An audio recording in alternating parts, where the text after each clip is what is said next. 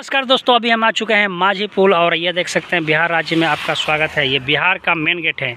यहाँ से आप सीधे बिहार में एंट्री कर सकते हैं और ये देख सकते हैं वहाँ पे प्रशासन चेक कर रहे हैं और तो फ्रेंड्स, आप देख सकते हैं ट्रेन जा रही है जो कि बिहार से यूपी में जा रही है और ये देख सकते हैं रेल पटरी है और जस्ट पास में वहाँ पर एक न्यू ब्रिज बन रहा है, देख सकते हो। नमस्कार दोस्तों, अभी हम आ चुके हैं माझी पुल और ये देख सकते हैं बिहार राज्य में आपका स्वागत है। ये बिहार का मेन गेट है। यहाँ से आप सीधे बिहार में एंट्री कर सकते हैं और ये देख सकते हैं वहाँ पे प्रशासन चेक कर रहे हैं और ये देख सकते हैं जो कि माझी पुल है, जो कि माझी ब्रिज है। और ये देख सकते हैं दोस्तों, और ये जी मोबाइल चला रहे हैं और ये देख सकते हैं बाढ़ काफ़ी आ चुका है।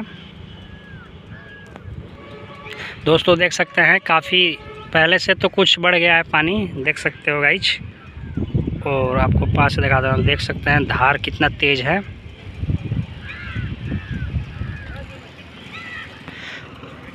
और ये आपको बता दूँ, ये ब्रिज जो कि यूपी बिहार का बॉर्डर है, और यहाँ से अगर सीधा ये जाएँगे तो आप यूपी में चले जाएँगे और ये जैसे ही इंट्री करेंगे तो बिहार राज्य में आप चले जाएँगे। यहाँ से आप माझी छपरा, सिवान, आप हर जगह जा सकते हैं। बिहार में पटना, हाजीपुर गाजीपुर गाजी हाजीपुर, हर जगह जा सकते हैं।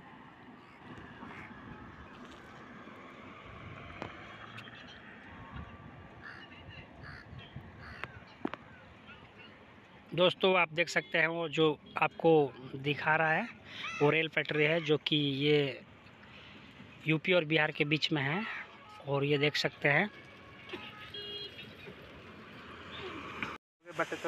तो फ्रेंड्स, आप देख सकते हैं ये ब्रिज है, जो कि यूपी से बिहार के लिए जा रही है, लोग जा रहे हैं, आ रहे हैं, और देख सकते हो काफ़ी ज़्यादा पानी बढ़ चुका है। पहले इतना पानी नहीं थी, और ये जो देख सकते हैं रोड काफ़ी बढ़िया है, और ये कुछ नज़ारा है ब्रिज का।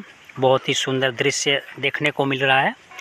देख सकते हैं कितना आनंद आ रहा है। तो जैसे कि ये ब्रिज हम पार करते हैं तो सीधे हम बिहार में पहुँच जाएँगे और बिहार में जैसे कि छपरा पहुँच जाएँगे यहाँ से 14 किलोमीटर दूरी पर पड़ता है छपरा जंक्शन है और ये देख सकते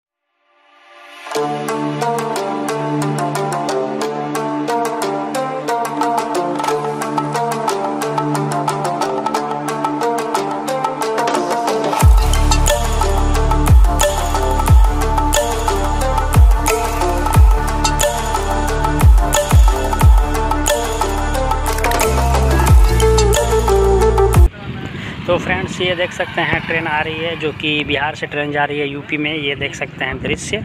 और जो तो देख सकते हैं जस्ट पास में एक न्यू ब्रिज बन रहा है।